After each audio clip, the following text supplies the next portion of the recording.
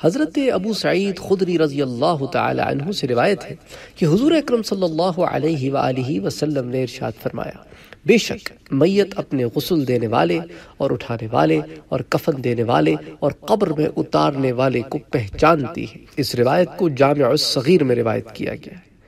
इसी तरह हज़रत अमर इबन दीनार ने फरमाया कि जब कोई शख्स मर जाता है तो इसकी रूह एक फरिश्ते के हाथ में होती है। वो फरिश्ता इसके जिसम की तरफ़ देखता है कि किस तरह गसल दिया जाता है और कैसे कफन पहनाया जाता है और इसे किस तरह ले जाया जाता है और वो फरिश्ता इस मैयत से जबकि वो अपनी चार पाई पर होता है, कहता है, अपने मुताल लोगों की तारीफ़ सुन। इसे अबू नुआम ने रिवायत किया है। इसी तरह हज़रत सुफियान से मरवी है कि मैयत हर चीज़ को पहचानती है हती कि वो अपने गसल देने वाले को अल्लाह का वास्ता दिलाते हुए कहती है, मुझे आहिस्ता गसल दो।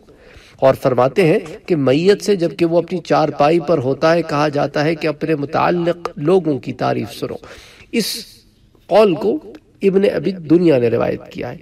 मजीद बरा इबन अबी दुनिया हज़रत बकर बिन अब्दुल्ला मुजनी फरमाते हैं, उनका कौल लाते हैं कि मुझे ये बात बताई गई कि मैयत कब्रस्तान की तरफ़ अपने जल्दी उठाए जाने से खुश होती है। इसी तरह इबन अबी दुनिया हज़रत अयूब रजू अल्लाह का कौल लाते हैं, वो फरमाते हैं कि कहा जाता है कि मैयत के अहल खाना पर मैयत की तज़ीम का एक तरीका यह है कि वो इसे इसकी कब्र की तरफ़ जल्द ले जाए।